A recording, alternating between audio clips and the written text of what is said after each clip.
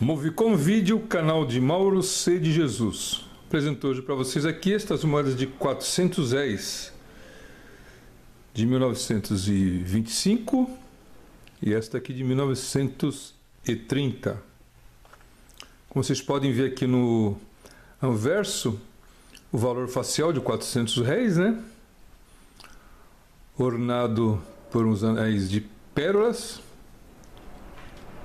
e em volta aqui da, do valor facial, a frase aqui: República dos Estados Unidos do Brasil.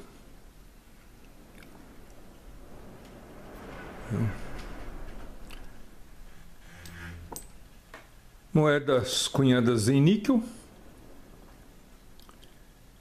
E no período de 1918 a 1935. Aqui no reverso tem a cabeça da mulher, a efígie, né? Bem na bordinha da moeda tem o colar de pérolas. E lá dentro da efígie tem aqui uma sequência de 21 estrelas. Vocês podem ver aí, né? Esses 400 reais foi da, da época dos nicks, né? Mas essa moeda aqui ela é em cupro-níquel, 300 milímetros de diâmetro, 2,10 de milímetro de espessura, 12 gramas, bordo liso.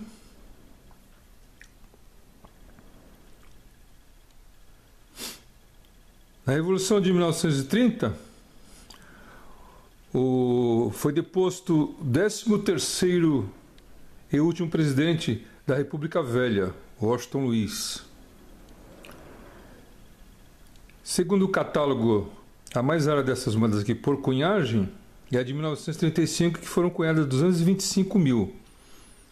A 1918, 491 mil. A 1932, 587 mil. A 1927, 738 mil. A 1923, 764 mil.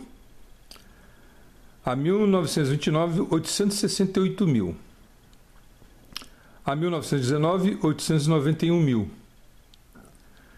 Já as de 1920, 22, 25, 26, 1930 e 31, todas elas foram a partir de 1 milhão até 2 milhões e 48 mil de peças cunhadas. Eu só tenho essas duas aqui, ó. 1925 e a 1930. São as que tem na minha coleção. Tá, informações para que vocês possam perseguir, procurar, garimpar as moedas que faltam.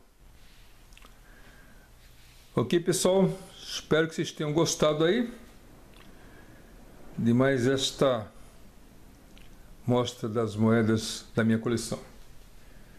Um grande abraço, abraço a todos aí, tamo junto. Aguardem mais novidades. Ok?